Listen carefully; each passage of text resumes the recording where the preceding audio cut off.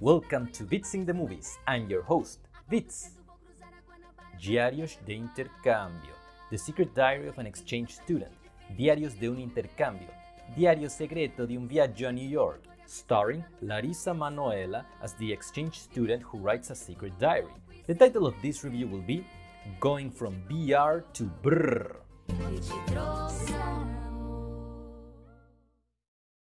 We're all familiar with the concept of an unintentionally hilarious movie, but what you might not be aware of is that this subcategory has a label that, as far as I know, doesn't have a name yet. I'm talking about movies where the jaw-dropping mistakes and the baffling creative choices happen during the second half or during the last part or even at the very end. The amount of examples is small, but it might grow over time. As infamous as these movies can be, they don't really achieve cult status. There are plenty of people who invite their friends over to watch these movies as a joke, but they expect to be laughing throughout the running time. The movie I'm reviewing today is part of this group. It's about a Brazilian named Barbara who dreams of traveling all over the world. She starts dating an American named Brad. She and her best friend Tyla join a program that allows them to travel to a snowy town in New York. There's romance, wacky shenanigans, and many montages and musical sequences, some of which come off as nothing but filler. At the end, Barbara writes an article about her experiences and she becomes a flight attendant. That's right, an article, not a diary. The titles in all languages contain a lie. It's possible that she was writing a diary during the trip and then she sent it to the magazine, but there are never any hints of that. She narrates to the audience, but the words don't match what's written on the page. Even if the diary exists, she has no reason to keep it a secret. So the titles in English and Italian contain two lies, not to mention that they sound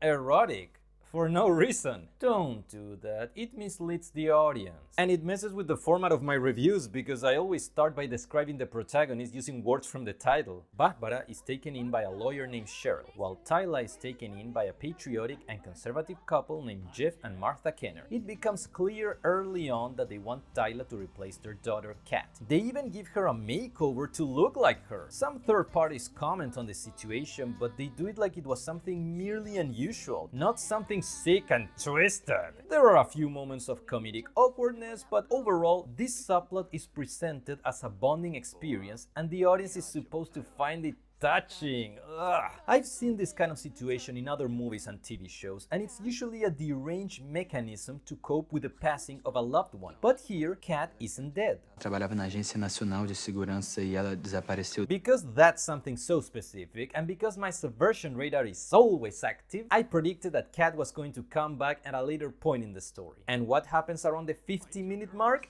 There she is! Tyla, papai e mamãe falaram muito bem de você, querida. Catarina, você fala português? Eu trabalhei anos na Tríplice Fronteira no Brasil. Really? But that wasn't that long ago, so why does Kat have pretty much the same accent as Tyla? Ah, this actress, Maiara Walsh, was born in the US, but she spent a lot of her childhood in Brazil. Well, then they should have cast someone else for the role. Imagina que eu sinto. Chegar em casa e descobrir que os meus pais querem adotar uma latina. Unlike you, you're not Latina. Clearly. And you know what makes this even worse? Quando o Brad era adolescente, o irmãozinho dele tinha uma babá brasileira. Foi com ela que o Brad aprendeu a falar português. E os dois viveram um romance proibido que foi ficando cada vez mais sério. That's right. Brad learned Portuguese many years before Kat, yet he speaks it with a thick accent.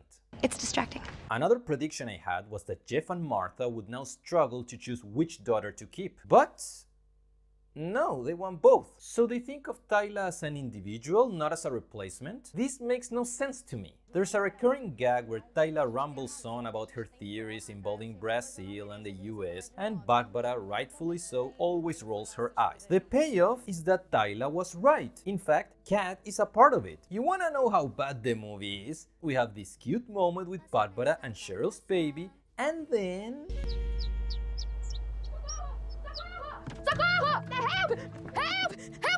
Wow, there was no segue.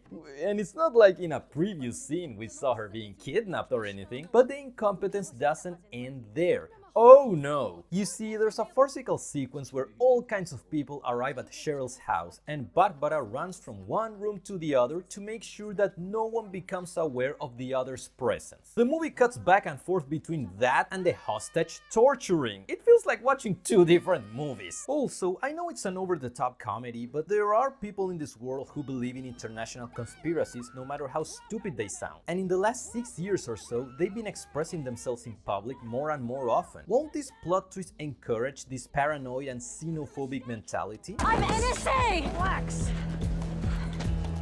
Oh, there's another character I should tell you about. Tudo bem, gostoso? É, É, gostoso sim. Obrigado. Você fala português? Sim, eu sou brasileiro. Pelo amor de Deus. Nunca vi neve. Primeira vez na vida, sou pobre. Tá, se você quiser aparecer lá, eu posso, não sei, te botar pra dentro. De graça? Obrigada, Lucas. Tchau, tchau. Será que é um date? All the evidence points to Lukasz being Tyla's love interest. But no, he falls for Barbara. She likes him too, but she's never unfaithful. Meanwhile, one night, Tyla and Brad get drunk and they kiss. I think that when writer-director Bruno Garotti and his co-writer Silvio Gonçalves were outlining the plot, they had Post-it notes with the characters' names and some of them got mixed up. It's not that you can't have love triangles, or love squares, I guess, but this all feels very random. The Tyla and Brad incident happens off-screen. It's revealed to the audience at the same time it's revealed to Barbara. And she and Lucas don't even have a meet cute, at least not one as apparent as the one he had with Tyla. In this scene, Lucas is about to be deported. Barbara has been given contradicting bits of information in regards to his life and she starts to connect the dots. She asks Soraya, Lucas's mother, to confirm her theory. And this leads us to the ending. Get ready! Lucas should have the right to live in the United States because he is the son of an American citizen. The identity of his father is unknown. Do you have any idea who the real father is? Bradley Henley.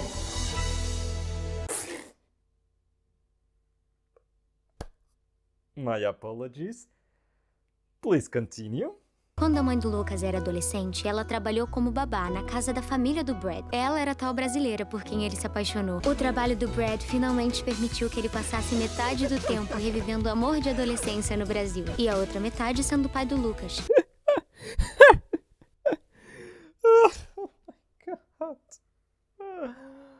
Oh, this is insane.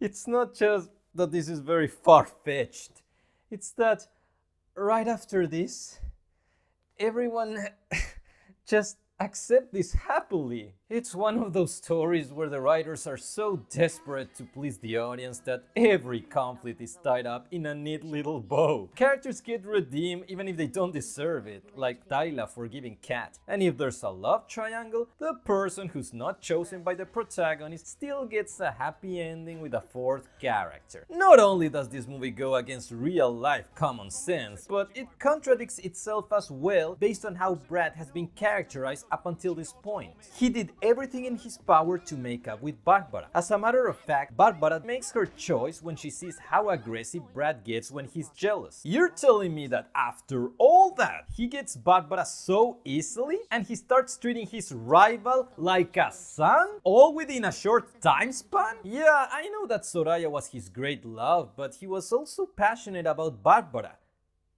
Or was he? The relationship is very inconsistent. At the beginning, Barbara said, A garota teve de voltar pra cá. E desde então, o Brad ficou com a ideia fixa de conhecer o Brasil. E quem sabe, reencontrar o seu primeiro amor. Pra crescer, você tem que experimentar coisas novas. That implies that this was only supposed to be a fling while Brad continued searching for Soraya. But nothing indicated that he was doing that. Not actively at least. Was he hoping they would run into each other by chance? Come on, dude. You have her full name. It's not that hard. Also, every time we see Barbara and Brad on screen, whether they're happy or angry or sad, they're clearly invested in their romance. They're not treating it as something casual. Ué, mas o Brad não era seu namorado? Era, mãe. Mas você acredita que agora ele virou meu sogro? Tô namorando o filho dele agora, Lucas. De novo? Oh, this movie's pretending to be self-aware. How adorable.